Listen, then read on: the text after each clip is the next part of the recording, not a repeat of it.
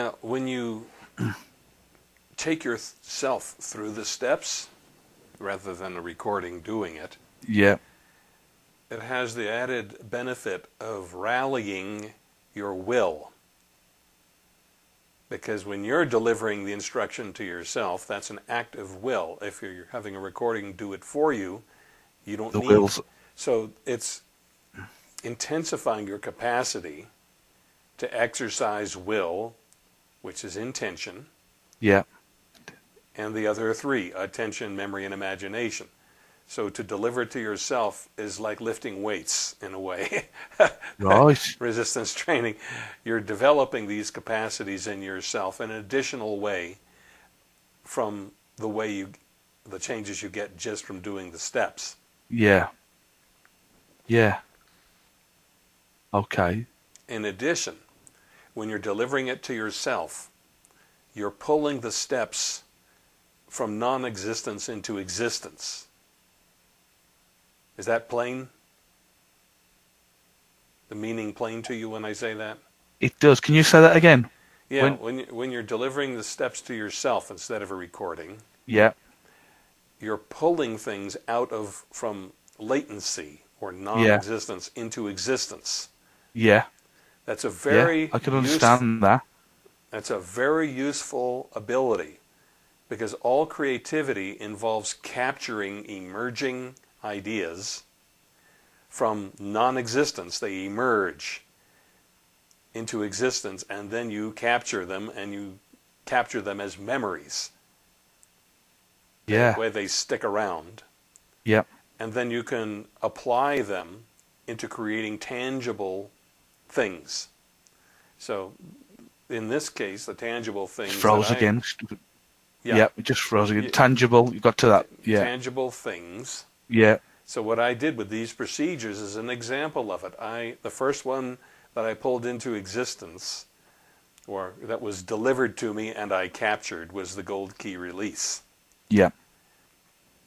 I captured it and then I kept working with it to refine the wording and structure of it, storing that in memory. And then I did recordings and write ups, making it tangible and durable. Yeah. Yeah. So, so this process of apprehending something from imagination and apprehending it, capturing it, and making it tangible is the stream of all innovation, all creativity. Okay. The arts, technology, you name it. Anything where there are emerging conditions, emerging developments. Yeah. undergoes that process. I suspect that most people, maybe everybody, has what they would call great ideas from time to time, but they don't capture them Yeah. and they evaporate. Yes. Those who do capture them Yeah. become visionary creatives. Yeah. And in some, you know, in one domain, technology, you had someone like Steve Jobs I was thinking that. Yeah. Yeah. right? He just captured one thing after another and Yeah. generated Apple Computer. Elon Musk, Mm. same thing. Yeah. That's in the technology, what do they call it, sector, technology sector. In Yeah. the arts, it's perfectly obvious that all the great composers, say the ones of classical or romantic music, Y- Yeah. Yeah. Yeah. right? Same thing. How do you think Beethoven Yeah. wrote the Ninth Symphony. It was like Yeah. he would hear it and he would capture it, and then he would render it tangible in his scores that he was the original scores that he was writing down. He's calling it composing. The composition already Yeah. occurred. Yeah. Mozart said this himself. He said that the pieces were, were already written in his mind before he set a note down on paper. Yeah. I heard that. Yes. Yeah. Same thing. It's the capacity to capture To what's capture. emerging. Now, people don't do that. Why? They don't have mastery of their attention. Their mind Yeah. wanders. They don't have the intention to capture it Yeah. because the only intentions they've developed are those that they had to develop for their livelihood, say, Yeah. or for certain relationships. So they haven't disciplined attention as a faculty that's broadly applicable. They just exercise it in particular ways. Yeah. They're Yeah. not they're not used to apprehending these emergents, and so their memory isn't disciplined. And their imagination, they're confusing largely with memory. They think that, oh, I can imagine my phone number. Well, that's remembering it. That's not Yeah. imagining. Imagination is characterized by originality. Yeah. W- Think Walt Disney. Mm. See? Yeah. that was one of his favorite key words, imagination. Yeah. So there is a vast potential Yeah. for humanity, for human beings, if they just turn on the four faculties or the factors of intelligence and start downloading the stream of Yeah. wealth. Yeah. No, I, I yes, I agree. I mean, because I'm in a position where I'm create. It's creativity, being a musician, and so that's I do. You know, that's a lot of that is creativity, which is great. So that's natural. That's there. Obviously, I've, to, I've had to work of it over the years, mm-hmm. but as you're saying as well, I've, uh, lots of people have ideas. I don't mean they are great ideas to themselves. I'm al- I'm constantly always writing things down. I might not. It might. It might seem a great idea. It'll be fine. Then I might.